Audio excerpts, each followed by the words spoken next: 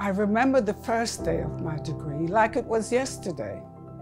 I had chosen engineering because I was good at solving problems, taking things apart, putting them back together, well, sometimes. But honestly, I didn't have a clue what I was going to do with my life. It was a single comment that changed my destiny that very first day. A tutor told me that at the time I was born, the population of the earth was over 6 billion.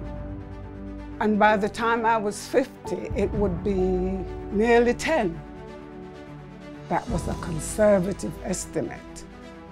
But I remember thinking, where are all these people going to go? Where will we find the houses, the jobs, the food, infrastructure? And as it turns out, I wasn't the only one asking that question. My name is Grace Alib, and my story began at TEDI, London. Take a look over there. One of the most modern cities on earth. But the sewers, Victorian. The roads, Roman. And if you sat here a thousand years ago, the only thing you'd recognise is the Thames. Everything else is what we call the built environment.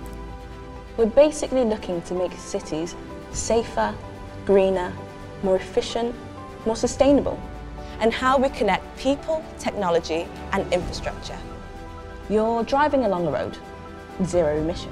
Traffic, it's monitored and rerouted. Accidents, instantly spotted and reported. Even the air itself is measured for pollution. Want to drive over a bridge? Don't worry. The concrete is implanted with tiny chips to watch for cracks. That's all happening over the next few years. So imagine what's possible in 50. My proudest moment? Oh, it's got to be 20, 25 years ago, whilst working in Zambia. A woman comes up to me with her young daughter, sweetest little thing who'd been in a terrible accident and needed to be blue lighted to hospital using our system.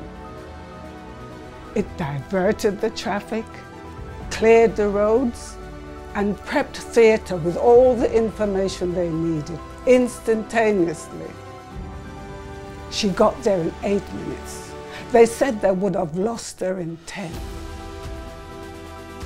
And you think about that and you think, yeah, I've done something worthwhile with my life. A message from the future. I don't think I would have wanted one of those when I was young. I just say be optimistic.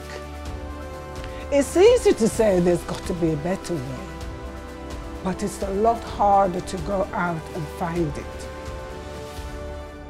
So, what's it going to be?